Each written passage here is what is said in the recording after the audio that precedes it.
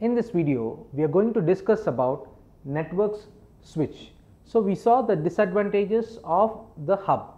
So, due to the disadvantages of the hub, that it happens to the degradation of the network. So, switches are introduced here. The problems associated with hubs can cause severe degradation to the network. So, due to this degradation to the network, switches are introduced. So, to overcome these, switches are being used instead of hubs. So, like hubs, switches also used to connect host in a network. So, hub connects two hosts in a network. The same way switches also connect hosts in the network and also it breaks up the collision domain.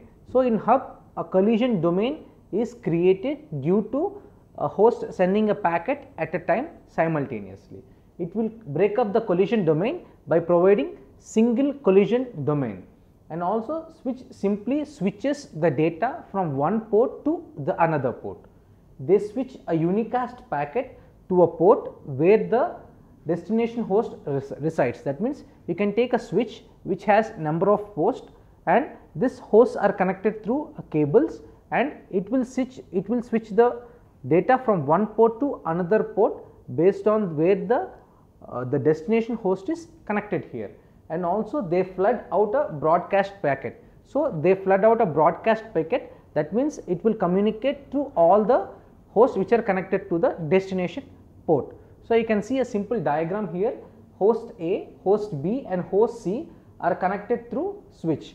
So, here the switch breaks up the collision domain and create a single collision domain and here remember that each host in its own collision domain and if host A sends a data packet to host C, host B will not receive the deta details of the data. That means, host A will send the data to host C through switch so, the switch switches the data to the destination port and the destination host C will receive the data. So, host B will not receive the data. You can see the complex switched and hub networks in the next slide.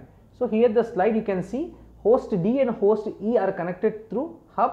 So, here a collision domain is created. So, switch 1, switch 2 are connected between host A, host B and host C. So, here the single collision domain is created. So, this is one kind of a network. So, we can see more complicated network here in this slide. So, here the more complicated network are one hub and three switches. So, here host E and host D are connected through hub and this network is connected to the other network through switch 1, switch 2 and switch 3 where host F, host A, host B and host C are connected. So, here it is a it's, it, is, it is a collision domain and here it is a single collision domain which breaks up this collision domain and the data is shared between all these hosts simultaneously. So, we will be discussing about the networks router in the next video.